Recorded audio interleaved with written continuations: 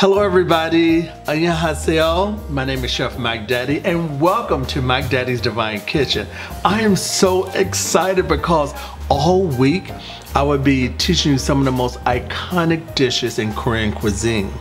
And I know that a lot of my high school classmates from high school that are from Korea that are watching this show is gonna be so proud of me and so excited because a lot of these dishes came from their restaurants as well as from my Korean godmother when I used to go to attend a Korean church for almost uh, four years.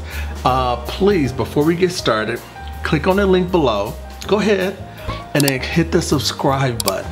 Also, next to the subscribe button, please click on the alert bell because by clicking on the alert bell, you get up-to-date announcements or alerts uh, when my tutorials come out.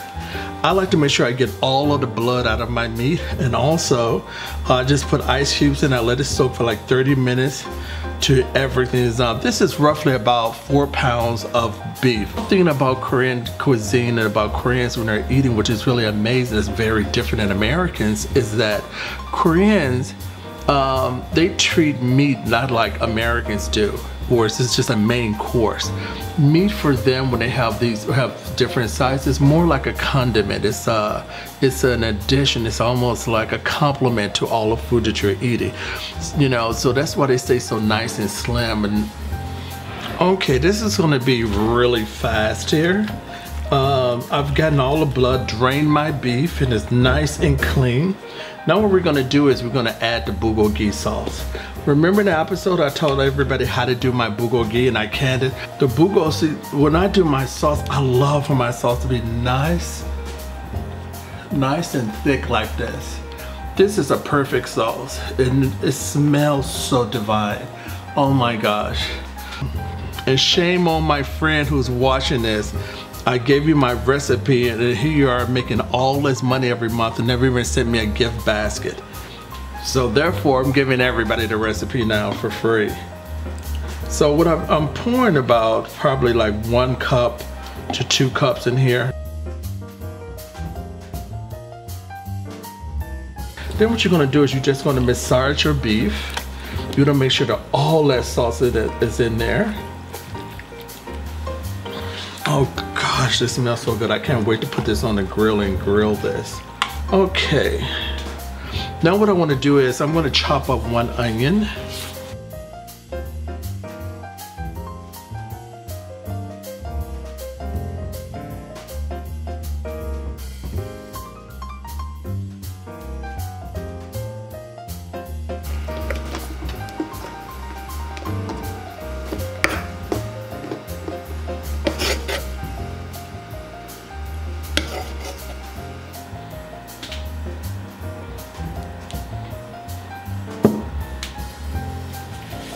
Mix this really nicely.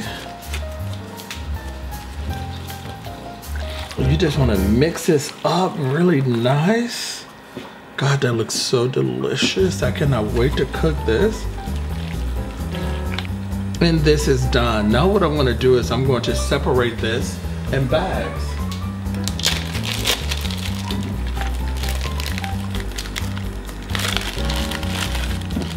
This is enough for two people. Okay, so what I'm doing now is I'm just gonna add one tablespoon of salt in each one of them because I wanna make sure it has plenty of salt when I'm cooking this because I haven't decided which dish I'm gonna do next.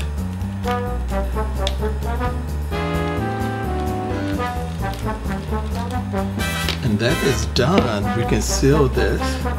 Signed, sealed, delivered with love any bags, any excess uh, Korean barbecue sauce, you just wash it off with a towel and you're done.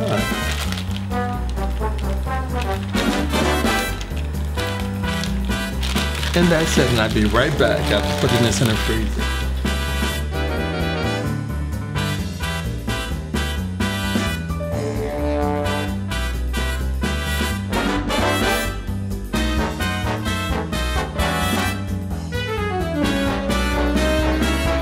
Hello everybody, it has been one day. I've let my barbecue sauce uh, my bulgogi, my beef, and my uh, Korean barbecue sauce. I let it marinate overnight. It's been 24 hours.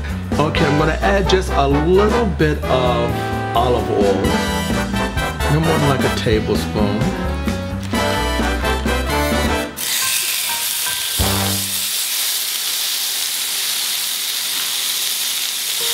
Oh, that looks so good. Smells amazing. Oh my God, think I, this is too much for me. Made enough for two people. This is actually enough for three people. But it's okay, I skipped dinner today. Let it cook until well done. And for those who want uh, medium, you can cook it any way you like. I chopped some onion, fresh onions from my garden, right here, and diced it very thin. I'm just adding just a little bit on top. There's an episode that I already had had done right before this on toast how to toast uh, sesame seed. Sprinkle a little sesame seed on top. You don't want to sprinkle a lot because you're going to put a little bit more on top right when you put it on your serving plate. Okay, and this is almost done. While this is cooking, if you haven't already done so, I know you're tired of me saying this, but it's really important because, um, you know, go ahead and subscribe. Hit the subscribe button. And also, uh, hit the alert bell so you can stay up to date with all my latest tutorials. Um, next after this, I'm going to be teaching you how to make classic Korean galbi, Korean spare ribs. And this is finished. Oh my God, it smells so divine. Put this in my nice serving dish.